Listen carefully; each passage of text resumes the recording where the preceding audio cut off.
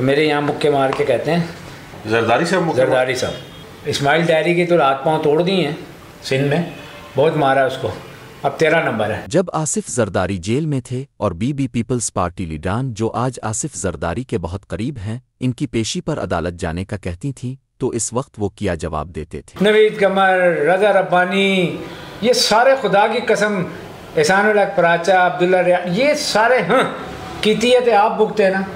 हम क्यों जाए? मतलब आपके ख्याल में कुछ लोगों का हदफ था कि नाहिद खान और और, इनकी लड़ाई साहब की लड़ाई कराई जाए। ऐसे ही था। बीबी की भी लड़ाई कराने की तो कोशिश होती थी। कोशिश थी। और आसिफ साहब इधर राइट मेरे राइट हैंड पे थे। साथ जुड़े हुए। कोई बात वो बात हो रही थी। तो मुझसे कहते हैं टेप कर रहा है बीबी के लिए मेरी बात? है बीबी का जासूस है ना? रहा हूँ कोई बंदा वहाँ आसिफ अली जरदारी साहब के खिलाफ बात करता था बीबी शटाप कॉल देती थी। लेकिन आपका तो खुद कत्ल का मनसूबा बना जिसे अहमद मीर साहब ने उस वक्त रिपोर्ट किया था। नवीद कमर मेरा सलाम नहीं लिया उसने। मैं बड़ी तकलीफ़ गुजारी है मैंने। सही बताऊँगा मैं जहनी मरीज़ बन गया था।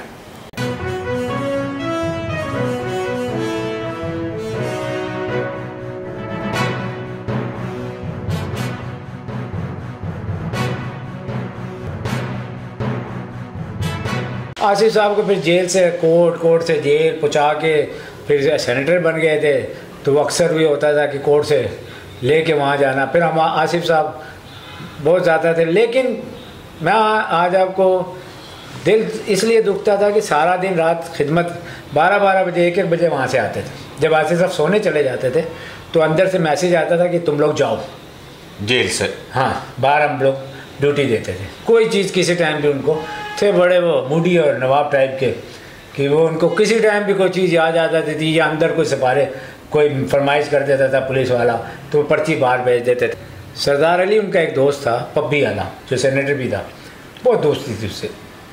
हमें वो कहा गया था कि उसका एक सेक्रेटरी था मैनेजर वो मेरे साथ वहाँ मौजूद रहता था, कि भाई जो भी अंदर से पर्ची है तुमने इसको दे देनी है, ये प्रोवाइड कर देगा। अंदर से चीज़ आती थी, मैं इसके हवाले कर देता था, ये दो मिनट में ला के मुझे दे देता था, मैं जाके अंदर डिलीवर कर देता था। बाहर आते थे तो लोग, मैंने हल्फन कह रहा हूँ, किसी की कोई खुशामद नहीं कर रहा हूँ। इनके इस तरीके से कान भरे जाते थे वहाँ, कि नाहिद खान रोकती है बंदों को, सफदर अब्बासी रोकता है बंदों को, और उनका वो जो चमचा है, मुझे ये कहा जाता था, उनका ख़ास आदमी जो है, करिंदा, वो सबको फ़ोन करके कहता है कि आसिफ साहब के उसमें मिलने नहीं जाना पेशी पे ना रश नहीं लगाना। ये मना करता था तो हम आपको अच्छा होता देंगे हुकूमत आ गई तो। जबकि मुझे अक्सर और बेशतर डांट पड़ती थी नाहिद खान की तरफ़ से। आज वहाँ बंदे नहीं थे तुम लोग नहीं कर सकते हो तो छोड़ दो तुम लोग। यानी कि इस तरीके से डाटा जाता था। मतलब आपस में भी लड़ाने वाला उस टाइम भी काम हाँ, शुरू था। वो वहाँ से कह रही है कि बंदे भेजो। और शबीर बाबा और आरिफ लाड़ा पिंडी से आ, बोबी शकील अब्बासी मलक मजर ये बेचारे वैगने भर भर के ले जाते थे कोर्ट के अंदर। खुदा की कसम। और खर्चा भी करती थी वो नाहिद खान। लेकिन उसके कान ये थे नाहिद खान बंदे लोग वो भेजती है और आज जो उनके साथ जुड़ के बैठे हुए हैं ना खास लोग खुदा की कसम उनके बारे में मैं नाम लेके कहूँ ना ये हम जब कहते थे बीबी कहती थी आज फला फला ली, लीडर को सीसी के मेंबर को कहो कि वो आसिफ को, को पेश होगा वो जाएगा आज कोर्ट में बंदे लेके बंदे साथ- नहीं। नहीं खुद जाएगा बंदे तो हम भेज देते थे हाँ, हाँ। लीडर पाँच सात होने चाहिए रोज वहाँ हाँ, बड़े बड़े जितने भी थे नाम क्या नाम है लेना ये हिस्ट्री है लोगों को पता यार चले याद रहे। मेरे साथ बड़ी अच्छी दोस्तियाँ भी थी नवीद कमर रजा रब्बानी ये सारे खुदा की कसम एहसान पराचा अब्दुल्ला रिया ये सारे हाँ कीती है तो आप भुगते हैं ना। हम क्यों जाएँ? हम बीबी के साथ हैं। नहीं जाते थे यार ये लोग नसीरुल्लाह बाबर पाबंदी से जाता था। जो हकीकत है मरहूम अल्लाह उन्हें जन्नत करवट करवट बख्शे। या मुख्तार साहब की भी उनसे बहुत अच्छी हो गई थी। अहमद मुख्तार। अहमद मुख्तार। बाकी लीडरों की मजबूरी के तहत जाते थे खुर्शीद शाह जाता था जब उसको कहा दिया। बाकी तो करके ना बड़े गुस्से में असी क्यों जाइए? जो कितनी है तो भुगते ना आप यार। यानी कि उसने किया तो भुगते पार्टी तबाह कर दी है वो। आज वो सबसे ज़्यादा करीब हैं। खुदा जानता है वो मेरा सलाम लेना नहीं गवारा करते। मैंने इन सब के साथ वो काम किए हैं इतनी इज़्ज़त और इतना एहतराम किया है कि इन लोगों को नवीद कमर साहब के मुझे फरमाइश आ गई कि यार मुझे अस्पताल शिफ्ट करा दो। पिंडी का था मेरे ताल्लुकात थे मेरी फैमिली के एक अच्छे रीज़नेबल यहाँ फैमिली आपको पता है। हर जगह उनकी अप्रोच है कि यार मुझे करा दो। तो इन लोगों को आज सबसे ज़्यादा दुश्मन मुझे तकलीफ़ भी होती है कि सबसे ज़्यादा वो मेरे दुश्मन नवीद कमर। नवीद कमर मेरा सलाम नहीं लिया उसने। ढाई घंटे रजा खोकर मेरे साथ बैठा था आपका साफी इनके घर गया हूँ। जब नाइन्टी अपना बीबी की शहादत के बाद। तो उधर से फ़ोन आ रहे थे बार बार कि जरदारी साहब इंतज़ार कर रहे हैं मीटिंग में। नवीद कमर में सामने बैठा था, वो नीचे नहीं उतर रहा था कि ये निकले, मुझे मिलना ना पड़े, लोग शिकायत, हालाँकि जरदारी साहब मुझे दो दफ़ा मिले अम्बेसियों में, दोनों दफ़ा बेटा कह के गले लगाया। मेरे फैमिली के मेंबर उनके साथ पास जाते हैं, अक्सर वो अच्छे उहदों पर हैं, मुलाकातें उनकी होती हैं। तो उनको कहते हैं कि वो बच्चा मेरा नाराज़ है, उसको लेके आओ, और ये लोग मेरे साथ ये सलूक करते हैं। मैं बड़ी तकलीफ़ गुजारी है मैंने। सही बताऊँ आप। नवीद कमर साहब की फरमाइश आ गई जी मुझे अम्बेसी हमारे सेक्रेटरीट के साथ डॉक्टर कामरान साहब का अस्पताल सा कि यार मुझे वहाँ शिफ्ट करा दो जेल से। कामरान साहब मेरे वालिद के दोस्त थे मैंने जाके कहा एक लेटर दें जी कि इनकी इलाज मैंने करना है। उन्होंने लिख के दे दिया। उन्होंने ऊपर एक कमरा उनके लिए तैयार कराया ले आया। मदर शाह साहब पीर मदर लाख जी जी। उनके लिए फरजाना राजा ने मुझसे कहा इतने उसको पोली क्लिनिक में शिफ्ट करा देना। जावेद चौधरी मेरे बहुत ज़्यादा प्यार करता था बहुत एम एस मैंने उनसे कहा उन्होंने वहाँ जो हरकतें की मैं क्या बताऊँ आपको कि वो हाथ जोड़े उसने कि यार ये तीसरी दफ़ा हुआ है इसको भाई मैं नहीं रख सकता। लेकिन तीन दफ़ा मैंने उनको वहाँ शिफ्ट कराया जेल से। नवीद कमर को छः महीने मैंने पिम्स में और उसके बाद सेक्रेट के साथ अपना जो हैदर क्लिनिक था उसमें प्राइवेट अस्पताल में कराया। ये लोग मेरा सलाम नहीं लेना पसंद करते। ये तो एहसान फरामोश है और मैं मैं बड़ी तकलीफ़ मैंने दो साल गुजारी है मैं हकीकत बता रहा हूँ। मैं जहनी मरीज़ बन गया था। क्या आपको बताऊँ? क्योंकि मैंने इन लोगों से खाया नहीं। इन लोगों को प्यार दिया इनके मुश्किल टाइम पे इनको मेरे घर में एक हादसा हुआ। ये रज़ा रब्बानी जो सारा दिन मेरे साथ बैठे होते थे मेरे घर से सौ कदम की दूरी राजा बाज़ार में एक मुस्लिम लीग कासिम वो जो हमारा भट्टो साहब का बंदा था मंजूर भट्टो मंजूर भट्टो का अहदेदार था। उसका भाई बेटा था या भाई था वहाँ किसी और रोले गोले में कत्ल हो गया था। क्या कहूँ वो बेचारा मेरा दोस्त है सलीम छीमा। उसके घर आ गए मेरे घर से कोई 200 कदम पे था। और मेरे घर में आठ जनाजे उठे थे। वो जो धमाका हुआ था। हाँ, हाँ। इनको इतनी तोफीक नहीं हुई कि मेरे घर आ गए मुझसे था। जो बंदा सबसे ज़्यादा हमारी दोस्ती थी रजा रब्बानी। मैं सफदर अब्बासी नाहिद खान एतजाज हसन शाह महमूद कराची ये एक ग्रुप कराता था। और रजा साहब की हालत होती थी कि मैं इनकी ज़्यादा नहीं करूँगा छोड़ें। सबसे ज़्यादा या मेरी जो दोस्ती थी वो रजा साहब से। और इन लोगों ने मेरे घर नहीं आए। और जब मैं छः चार पाँच महीने बाद थोड़ा संभला तो डॉक्टर साहब मुझे ले गए कोई काम था तो कहते हैं यार थोड़ी देर सनेट चलना है। उस ज़माने में ये चेयरमैन थे सनेट रज़ा रब्बानी साहब। अच्छा रज़ा रब्बानी साहब का जो टैपिस था ना उसका भाई मेरे घर के बाहर से गुज़र रहा था। जब वो धमाका हुआ है तो वो गुज़र रहा था बेचारा। उसका साला सोड़ी टाइपिस्ट का। वो उसमें शहीद हो गया उस धमाके में। हाँ, हाँ, हाँ। मैं इसलिए बता रहा हूँ कि जब रजा साहब मुझे सफदर साहब लेके गए ना तो सफदर साहब ने कहा यार रजा तूने बड़ी ज्यादती की। रिजवी का तूने ताजियत भी नहीं की इसके यहाँ बड़ा हादसा हो गया। मैं खुद सारा आपको पता है हो थे। तूने हो? कब? कैसे? वो मैं बताऊँ ना मैं थोड़ा जज्बाती हूँ। मुझे गुस्सा चढ़ गया। मैं कहा रजा साहब मेरे साथ ही काम मत करें प्लीज़ आपके पीएस का भाई शहीद हुआ उसमें। आपने तीसरे दिन उसने सारा कुछ बताया कि इब्ने रिजवी क्योंकि उन्हें पता था कि हम एक हैं। बताया भी आपने। आप क्यों ऐसी बात कर रहे हैं कि मेहनत तो सही नहीं किसी ने? अगले दिन आपने उससे पूरा ताज़ियत लिया उसकी। आपका वो टाइपिस्ट था वो लड़का। वो जो नुमान लड़का हमारे यहाँ था उसके शहीद हुआ था उसके बाईस। मैं कहा ये ड्रामे मेरे साथ ना मैं कह के बाहर निकल आया? चेयरमैन हो गए अपने घर के हो गए। लेकिन मुझे इस चीज़ की तकलीफ़ थी। लेकिन आपका तो खुद कत्ल का मनसूबा बना, जिसे अहमद मीर साहब ने उस वक्त रिपोर्ट किया था। आपने इतनी कुर्बानी दी। वो वाक्य क्या है? उसके बावजूद आपके ये जो दोस्त हैं रजा रबानी नवीद कमर जिनके लिए आपने काम किया या जरदारी साहब की वजह से आपको मर्डर करने का प्लान मैं आपको बताऊँ कि वो वाक्य क्या है कि जो वाकई ये था मुझे नहीं पता चला कि क्या है। नाइन्टी सेवन और नाइन्टी एट में बहुत ज़्यादा एक्टिव था। मुख्तलिफ़ ख़बरें मेरे सेक्रेटरीट में सारे साफी बैठते थे और हम शोशे छोड़ते थे मुख्तलिफ़। बारह सात अक्टूबर 99 में मेरे बड़े भाई साहब ओन मोहम्मद रिजवी पीटीवी के कंट्रोलर थे। उनके साथ हादसा हुआ आपको पता है उनको शहीद कर दिया गया। तो हम लोग अपने भाई के उसमें लगे हुए थे। तीसरे दिन 12 अक्टूबर 99 में हुकूमत चली गई और परवेज़ मुशर्रफ ने जनाब हुकूमत अपनी कायम कर ली टेक ओवर कर लिया और नवाज़ शरीफ वगैरह गिरफ़्तार हो गए। और इन सब के दफ्तरों के तमाम वो जो कागजात थे वो उठा के ले गए जेचकू में। तो चौदह अक्टूबर या पंद्रह अक्टूबर की बात थी। सात अक्टूबर को भाई का हादसा हुआ बारह अक्टूबर 99 में परवेज मुशर्रफ ने टेक ऑफ़ किया। चौदह या पंद्रह तारीख को ओसाब अखबार के फ्रंट पेज पे उस ज़माने में ये उसके एडिटर थे हामिद मीर साहब। एक स्टोरी चलती है कि ओन मोहम्मद रिजवी अगर ना मारा जाता तो एक या दो दिन में इब्न रिजवी मारा जा गया था। बड़े भाई मेरे शमीम हैदर सैयद बड़ा परेशान हुए कि अभी घर में एक एक रोना पीटना मचा हुआ बहुत बड़ा एक हादसा हो जाए ना तो पूरी फैमिली ख़त्म हो जाती है। ये मैं आपको बताऊँ। मैंने तो दो हादसे गुजारे हैं, लेकिन ओन भाई ने हम सारों को तोड़ दिया था। चीखे मारते रहे यार, रोते रहे। तो वो परेशान हो गए ओन भाई, शमीम भाई ने मुझे कहा, इब्ने, गाड़ी निकालो। मेरे यहाँ बड़ी मेहमानदारी चल रही थी उस ज़माने में। बड़े लोग मेरी जैसे पूरी सियासी पार्टियाँ, कोई ऐसा बंदा नहीं था जो ना आया हो। इमरान खान, भट्टो नसुल्ला साहब, बीबी आई सारी पीपल्स पार्टी बलोचिस्तान से लेके कश्मीर और नादर सब आए अहदेदार वो परेशान थे, उन्होंने कहा, नहीं, तालिब ओन भाई का बड़ा बेटा है। कहते हैं, वो बैठेगा, तुम मेरे साथ चलो। ये क्या स्टोरी चलाई है? इन्होंने एक और परेशानी पैदा कर दी।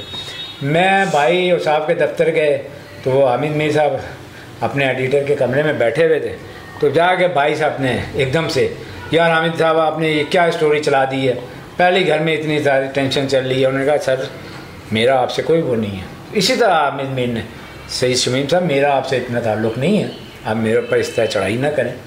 मैंने खुद जाके मुझे पढ़ाई गई है तो मैंने जारी की है। उनके पास कोई डॉक्यूमेंट था जी हाँ। और अगर आपको यकीन नहीं है तो मैं आपको साथ तो नहीं ले जा सकता। इसको मैं अपने साथ ले जाकर पढ़ा देता हूँ। मेरे साथ चलेगी।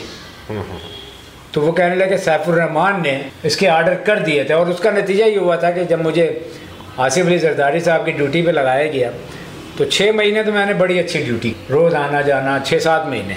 इस्माइल डैरी सिंध से एक लड़का था वो, और एक खोसा साहब थे, उनके साथ जो दो सिंधी थे, उसका पूरा नाम खोसे ही खोसा हम कहते थे, इस्माइल डैरी और वो। ये उनके पक्के दो साथ थे। पिंडी से मैं हो गया। तो उनको लेके आना, लेके जाना और उनके साथ बैठता था मैं, सीट पे। अगली सीट पे साथ बैठे होते थे। तो जाते थे। तो सातवें महीने में एक दिन अचानक आसिफ साहब ने मुझे कहा कि किसी जगह बिठा सकता है? कहीं बैठ जगह होगी। तो मैं ऊपर रजिस्ट्रार के कमरे में ले गया वो कोर्ट हाई कोर्ट में? हाई कोर्ट के अंदर। जब पेशी हो गई तो उन्होंने कहा मैंने तुझसे कोई बात करनी है। मैंने कहा है रजिस्ट्रार के कमरे में बैठ जाते हैं। मेरा अज़ीज़ था हाई कोर्ट का रजिस्ट्रार सज्जाद शाह साहब जो बाद में जज भी बन गए थे। तो वहाँ गए तो मिलाया मैंने कहा शाह साहब हम दस मिनट यहाँ बैठना चाहते हैं। उन्होंने कहा हाँ बैठे। तो मैंने बिठाया। तो मेरे यहाँ मुक्के मार के कहते हैं तू तैयार है? जरदारी साहब जरदारी साहब तू तैयार है? ना वह किस चीज़ के लिए भाई? कह रहे यार मुझे लग रहा है कि एक दो दिन में तुझे उठा लिया जाएगा। इस्माइल डायरी की तो रात पाँव तोड़ दी हैं सिंध में। बहुत मारा उसको। अब तेरह नंबर है। ये आसिफ जरदारी साहब ने अच्छा उनके पास भी इंफॉर्मेशन थी वहाँ पे। जी उनके पास थी और मुझे ऊपर ले गए हैं सज्जाद शाह साहब के कमरे में और शाह साहब वहीं बैठे हुए थे। मैंने उनसे इजाज़त ली कि दस मिनट हम बैठ जाएँ उन्होंने कहा हाँ बैठो। सबको उन्होंने कहा बाहर जाओ मैंने कोई बात करनी है। तो मेरे यहाँ आसिफ साहब ने दो मुक्के मारे कहते हैं तू तैयार है? मैं कहा क्या हुआ सर? कह रहे हैं वो इस्माइल डायरी के साथ बहुत बुरा हुआ है हाथ में उसके तोड़ दिए उठा के ले गए थे एजेंसियों वाले। अब तेरह नंबर है यहाँ। मैं कहा ना करें जी अल्लाह का नाम ले। कहते हैं, तू घबराता नहीं मैंने कहा, आज तक तो नहीं घबराया जी। तो कहते हैं, ठीक है, बस तू अपना ख्याल रखना और कोई वो चाहे मुताद रहना। मैं कहा, ठीक है।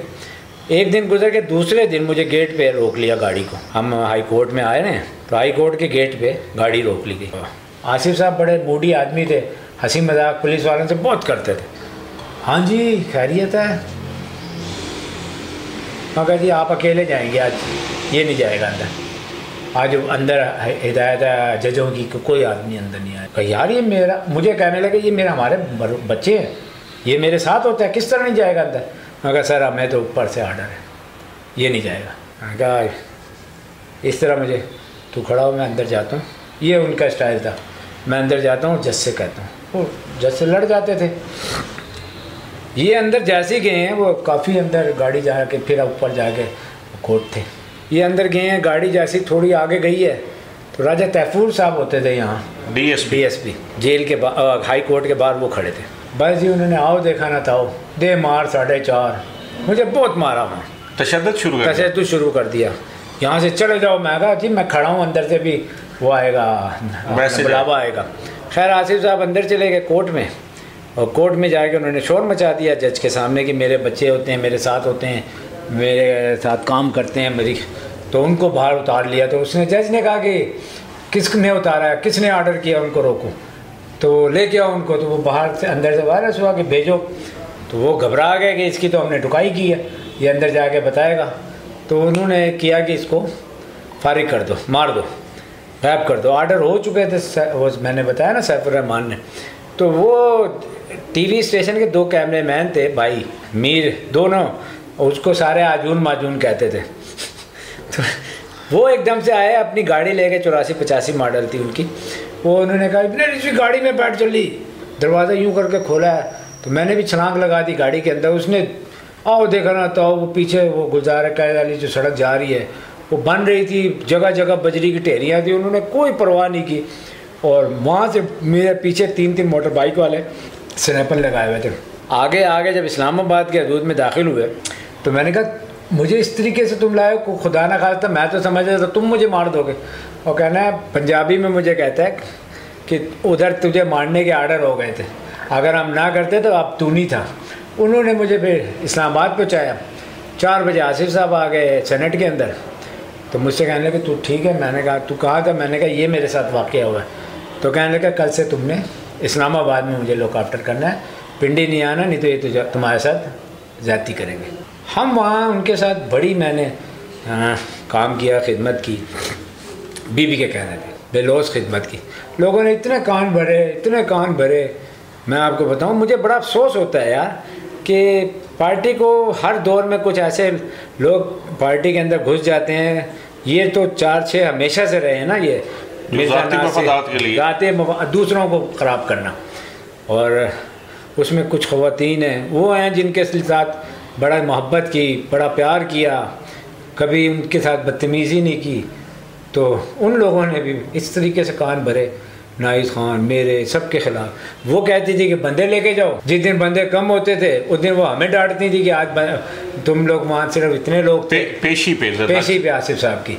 और ये कहते थे कि वो रोकती है। पता नहीं कि आसिफ साहब यकीन कर लेते थे। मतलब आपके ख्याल में कुछ लोगों का हदफ था कि नाहिद खान और और, इनकी लड़ाई साहब की लड़ाई कराई जाए ऐसे ही था। बीबी की भी लड़ाई कराने की तो कोशिश होती थी। कोशिश थी।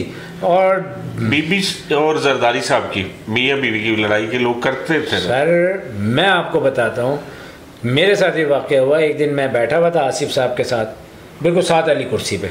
तो मुझे नहीं पता था वो मेरे पर नोकिया उस ज़माने में ये एंड्रॉयड तो थे ही नहीं वो नोकिया के फ़ोन चलते थे। बत्तीस दस थे। बत्ती था नहीं मेरे साथ इलेवन हंड्रेड था। वो मोटा। उससे भी पहले। हाँ उससे भी पहले आया वो बीबी भी बड़ा इस्तेमाल करती थी तो वो आज तक मैंने संभाल के रखा हुआ है। खुदा की कसम एक याद याद रखी हुई है। मैं यूँ बैठा हुआ था उसको हाथ में रखे हुए। इस सीट पे मैं बैठा था आसिफ साहब के लेफ़्ट हैंड पे। और आसिफ साहब इधर राइट मेरे राइट हैंड पे थे साथ जुड़े हुए। कोई बात वो बात हो रही थी। तो मुझसे कहते भाई टेप कर रहा है बीबी के लिए मेरी बात है। बीबी का जासूस है ना तो? मैंने कहा जी सिवाय फ़ोन करने और सुनने के मुझे इसके ऑप्शन ही नहीं पता। नया नया आया था। मेरा कोई काम इतना हो ही नहीं मैंने उसको समझने की भी कोशिश नहीं की कि इसमें क्या कुछ है। सिर्फ़ सुनता हूँ और कॉल करता हूँ। अगर आपको ये है तो कल से मैं नहीं आऊँगा। तो मुझे कहने लगे तुझे बड़ी जल्दी गुस्सा आ जाता है। मज़ाक कर रहा था। यूँ मुझे करके दो। तो उनको कोई कहता ही होगा ना जब भी उनको शक था कि बीबी के जासूस हैं। बीबी ने ज़िंदगी में मैंने बीबी के साथ 26 साल काम किया है। मैंने अपने अलावा भी, मैंने तो खैर कभी कोई बात नहीं की, लेकिन अपने अलावा मैं बता रहा हूँ, कोई बंदा वहाँ आसिफ अली जरदारी साहब के ख़िलाफ़ बात करता था, बीबी शटाप कॉल देती थी। बीबी ने आज तक आसिफ अली जरदारी की बात अंदर वो क्या कहते हैं, हमें नहीं पता। घर के क्या हालात हैं, लोग क्या क्या करते हैं, हमें नहीं पता। अंदर का क्या है? लेकिन खुदा की कसम बीबी शहीद हो चुकी है पीठ पीछे बात कर रहा हूँ। बीबी ने आज तक आसिफ अली जरदारी के ख़िलाफ़ किसी से कोई बात नहीं सुनी। शराब कॉल दे दी थी, थी। तो मुझे याद है मैंने कहा जी आसिफ साहब मुझे अक्सर नो नेक्स्ट टाइम बिल्कुल आपने ये बात नहीं करनी। मुझे तकलीफ़ पहुँची थी जब उन्होंने कहा ना कि तुम बीबी की जासूसी करते हो तुम मेरी बातें टेप करते हो जो मैं लोगों से करता हूँ। मुझे हकीकत में तकलीफ़ पहुँची थी। तो मैंने कहा जी वहाँ जाता हूँ तो वो ये कहते हैं लोगों ने उनको पता नहीं क्या क्या नो सॉरी नेक्स्ट टाइम ऐसी बात नहीं करनी। ये खुदा हालाँकि मुझे तकलीफ़ पहुँची थी मैंने बीबी शिकायत। ये बात की शिकायत थी। हाँ कि वो मुझे ये समझते हैं कि शायद मैं आपको उनकी सारी रिपोर्ट देता हूँ। मुझे कहते हैं आ गया बीबी का जासूस। मुझे भी और दो जो गार्ड थे ना मोहम्मद अली और जाफ़र भट्ट इनको भी वो भी हर पेशे पे पहुँचे होते थे। ये बीबी से जासूस है। तो वो मज़ाक करते थे या किसी ने लोगों ने कहा हुआ था उनसे हमें अल्लाह जानते हैं नहीं पता था लेकिन उन्होंने दो चार दफ़ा ये कहा है। तो एक दफ़ा सेनेट के अंदर लिफ्ट से निकल लेते आओ बीबी का जासूस। मैं कहती हम आने ही बंद कर देते हैं अगर आप कहते हो कि हम जासूसी करते हैं। तो वो जो उनका स्टाइल है। फिर प्यार कर मज़ाक कर रहा था यार तू एकदम से जज्बाती हो जाता है। यानी कि ये हकीकत बताऊँ।